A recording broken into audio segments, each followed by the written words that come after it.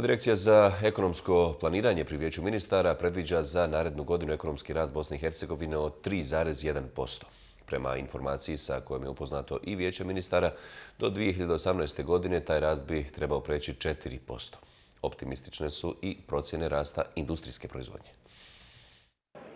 Očekuje se da bi BH ekonomski rast mogao iznositi 3,1% u 2016. godini. U razdoblju 2017-2018 očekuje se daljnje postepeno jačanje ekonomskog rasta, kako zbog sve povoljnijeg eksternog okruženja, tako i zbog provođenja planiranih reformi. Tako je za 2017. godinu projiciran rast od 3,2%, nakon čega slijedi daljnje ubrzavanje na 4,1% 2018. godine. Industrijska proizvodnja Bosne i Hercegovine ove godine povećana je za 2,2%, a nivo zaposlenosti veći je za 1,8%. Za prvih devet mjeseci izvoz je povećan za 3,8%, a uvoz u isto vrijeme smanjen za 1,4%.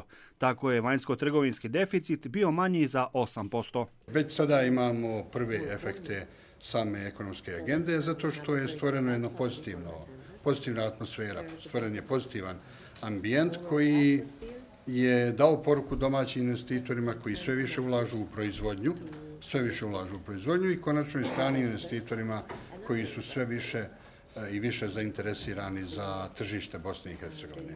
Ukoliko se nastave pozitivni trendovi u okruženju uz dodatni unutrašnji doprinos, iduće godine može se očekivati i solidan rast industrijske proizvodnje od oko 4%.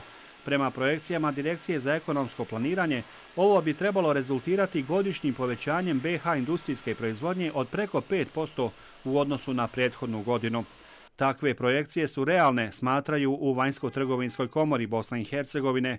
Podsjećaju da ove godine, koja je bila politički nestabilna, nije ostvaren planirani ekonomski rast. Nije bilo ni značajnijih stranih ulaganja, niti plasmana kredita prema privredi, a izostale su i velike investicije u elektroenergetski sektor.